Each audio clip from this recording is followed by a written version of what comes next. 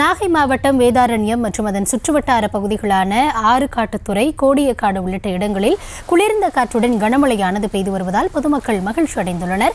இது தொடர்பான விவரங்களுக்காக இணைகிறார் எம்முடைய செய்தியாளர் சூரியமூர்த்தி. வணக்கம் சூரியமூர்த்தி. எவ்வளவு நேரமாக மழை தொடர்ந்து பெய்து வருகிறது? கூடுதல் விவரங்கள் என்ன?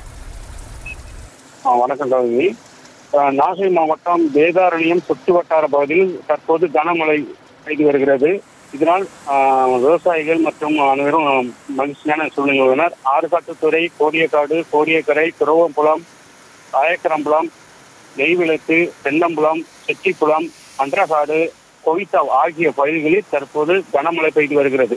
ஒரு மணி நேரமாக.